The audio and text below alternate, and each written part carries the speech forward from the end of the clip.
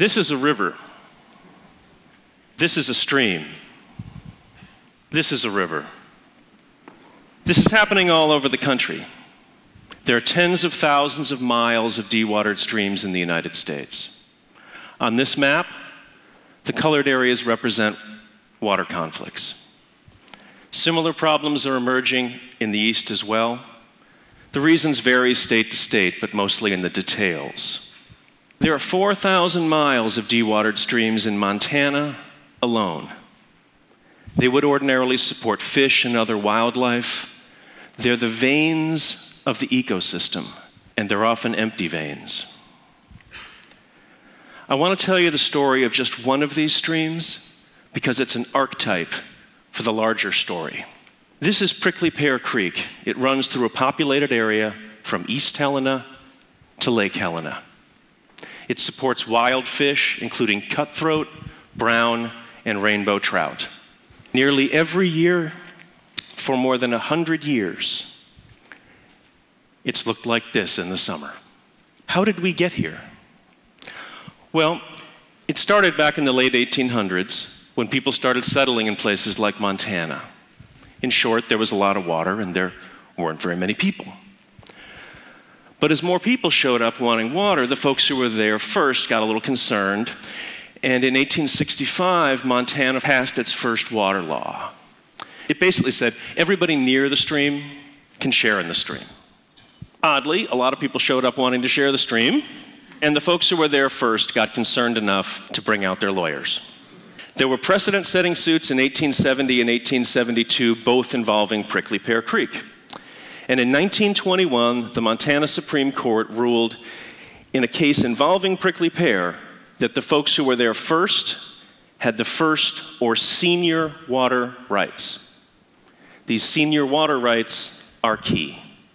The problem is that all over the West now it looks like this.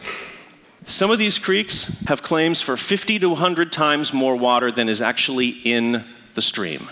And the senior water rights holders, if they don't use their water right, they risk losing their water right along with the economic value that goes with it. So they have no incentive to conserve. So it's not just about the number of people. The system itself creates a disincentive to conserve because you can lose your water right if you don't use it. So after decades of lawsuits and 140 years now of experience, we still have this. It's a broken system. There's a disincentive to conserve because if you don't use your water rights, you can lose your water right. And I'm sure you all know this has created significant conflicts between the agricultural and environmental communities. Okay, now I'm going to change gears here. Most of you will be happy to know that the rest of the presentation is free. And some of you will be happy to know that it involves beer. Okay. There's another thing happening around the country, which is that companies are starting to get concerned about their water footprint. They're concerned about securing an adequate supply of water. They're trying to be really efficient with their water use. And they're concerned about how their water use affects the image of their brand. Well, it's a national problem, but I'm going to tell you another story from Montana. And it involves beer. I bet you didn't know it takes about five pints of water to make a pint of beer. If you include all the grain, it takes more than 100 pints of water to make a pint of beer. Now, the brewers in Montana have already done a lot to reduce their water consumption, but they still use millions of gallons of water. I mean, there's water in beer. So, what can they do about this remaining water footprint that can have serious effects on the ecosystem? These ecosystems are really important to the Montana brewers and their customers. After all, there's a strong correlation between water and fishing, and for some, there's a strong correlation between fishing and beer.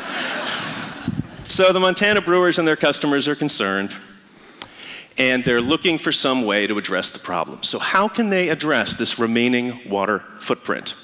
Remember prickly pear.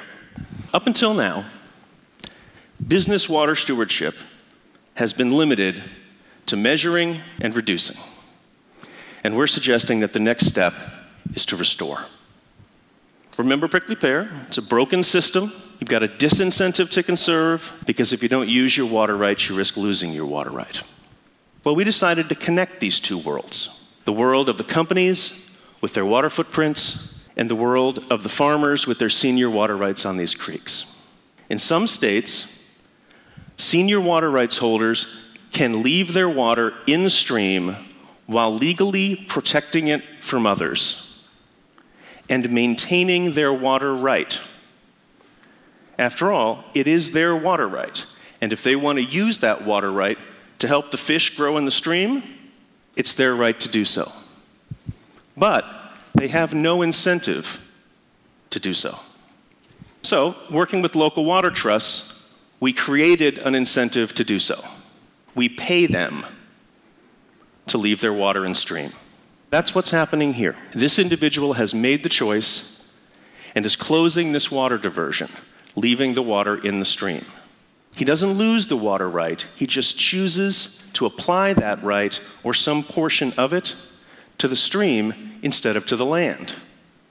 Because he's the senior water rights holder, he can protect the water from other users in the stream. Okay? He gets paid to leave the water in the stream. This guy's measuring the water that this leaves in the stream. We then take the measured water, we divide it into 1,000 gallon increments. Each increment gets a serial number and a certificate. And then the brewers and others buy those certificates as a way to return water to these degraded ecosystems. The brewers pay to restore water to the stream. It provides a simple, inexpensive, and measurable way to return water to these degraded ecosystems while giving farmers an economic choice and giving businesses concerned about their water footprints an easy way to deal with them. After 140 years of conflict and 100 years of dry streams, a circumstance that litigation and regulation has not solved, we put together a market based willing buyer, willing seller solution, a solution that does not require litigation. It's about giving folks concerned about their water footprints a real opportunity to put water where it's critically needed into these degraded ecosystems, while at the same time providing farmers a meaningful economic choice about how their water is used. These transactions create allies, not enemies. They connect people rather than dividing them, and they provide needed economic support for rural communities. And most importantly, it's working. We've returned more than 4 billion gallons of water to degraded ecosystems. We've connected senior water rights holders with brewers in Montana, with hotels and tea companies in Oregon, and with high tech companies that use a lot of water in the Southwest. And when we make these connections, we can and we do turn this into this. Thank you very much.